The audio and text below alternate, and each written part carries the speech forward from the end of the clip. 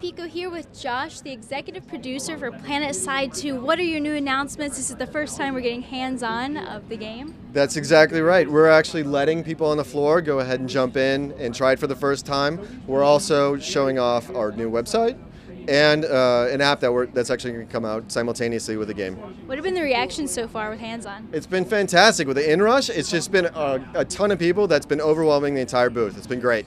Uh, you were showing me this cool little app on the iPad. Can you tell like some of the features and stuff like that? Of course. So not only are you going to get all the standard things, so you're going to have a library, you're going to be able to take a look at what a particular gun or a particular vehicle, what its stats are, how it plays out, but you'll be able to look up your character, be able to see where you are in certifications, what it is the next rank, you know, where each one of your team members, your guilds, you can look up them and see how they're doing. Uh, you can take a look at what's going on in your guild uh, and manage that.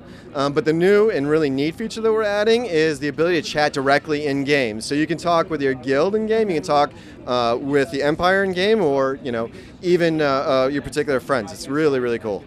Yeah, so you can be just on your iPad at like Starbucks or something and just be talking to your guild and Yeah. you'd be totally cool. Yeah, no, it's actually really sweet because not only does it that, have those things that I mentioned, but it also has a map, so you can see who owns uh, what territory.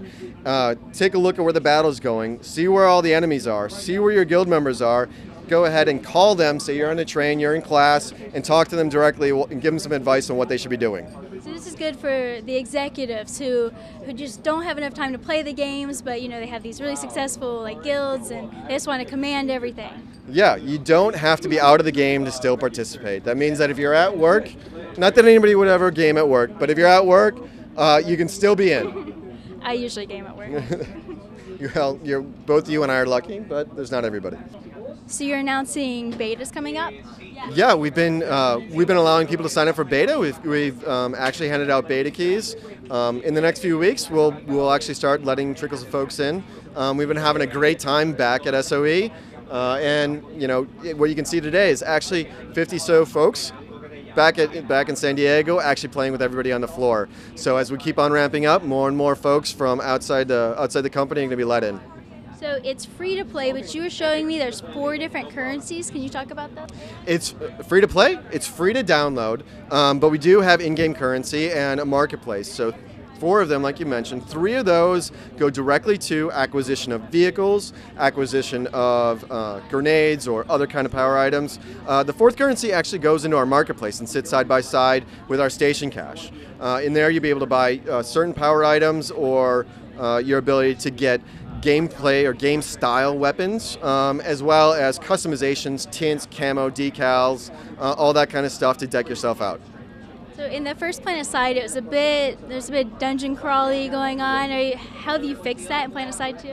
So we've really adhered uh, to a lot of what made the, the first PlanetSide great, but we've been looking at uh, looking at modern day shooters and really trying to bring in what you would expect. So all of our all of our uh, bases.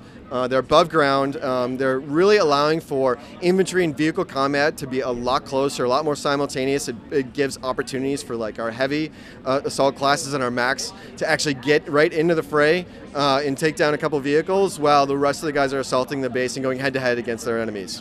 There's been some questions about the balance of the classes. Would you say they're fairly balanced so far? Well, we've been doing uh, we've been doing balancing for the last few months internally. Um, obviously, as we get closer to beta, we add more and more folks in. We're going to really, you know, get look for feedback, um, be on the forums, and, and spend time with the fans and see really what things play well, what don't, and kind of balance some more off of that.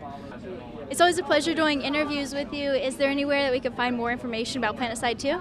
Sure, you can follow us on Twitter, pound PS2 E3, uh, or go to our website, planetside2.com. Thank you so much. Thanks.